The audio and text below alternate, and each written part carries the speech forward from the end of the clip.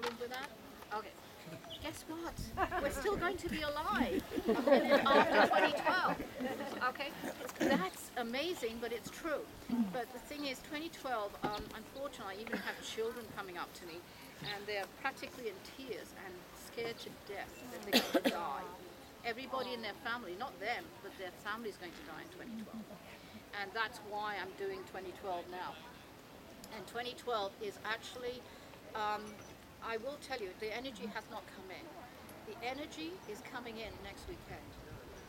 It's the 14th and 15th of March. It's going to come in. You will feel it. The ones who are sensitive, you're very um, presentient. Do you feel things? The one eating the pizza. Uh, do you feel things? trying to make me hungry here. Do you feel things emotionally? Do you feel like people, when you interact with people, do you feel them? Do you connect with them emotionally? No? Men, they always deny their emotions. okay, anyway, that's what happens. But basically, you'll feel it. The people who are really into this and can feel it, you will feel a shift, a major shift happen on that 14 15. That is when the 2012 energy is coming in. Okay? You are going to see now the earthquakes are nothing to what regarding that one, I actually did a lot of predictions on that.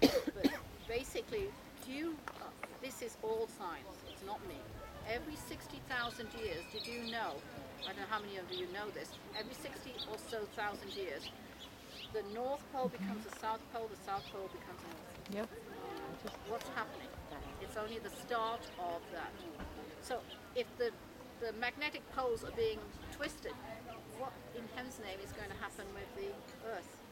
We're already on a loop every time the, uh, we rotate because the, the oceans uh, displace 30% of the water. Did you know that? And making it oval. That adds to it. So the rotation of the Earth is being shifted every time, and it shifts the axis. Like I can't remember a quarter inch or something.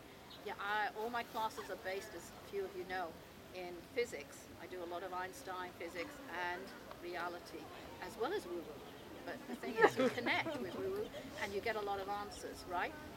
All right. So basically, you'll see a lot of um, hard-hitting answers to this.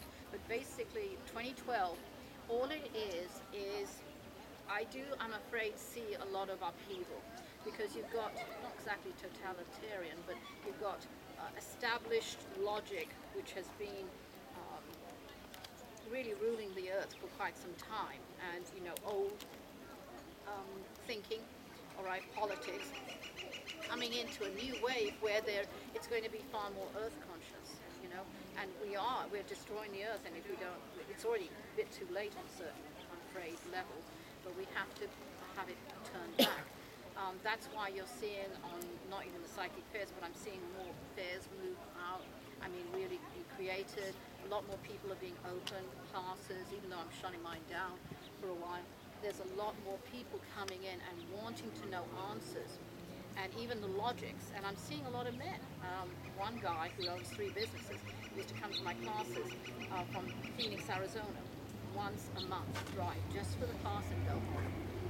So, you know, there are a lot of people out there who are, and one comes from Mexico, for 17 class, 18 classes she did.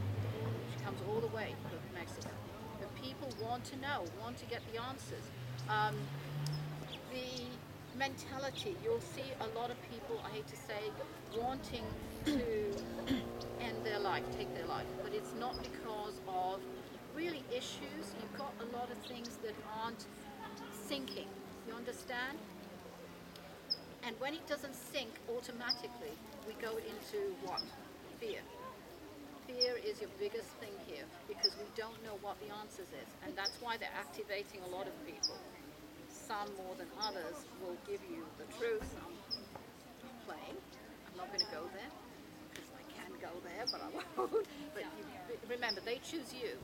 They, your guides will choose you who to go to. Okay. Um, and those are the ones. But remember, whatever happens, nobody should tell you what to do. You should tell yourself what to do. Your own truth is what the bottom line is about, right? Um, and here's one.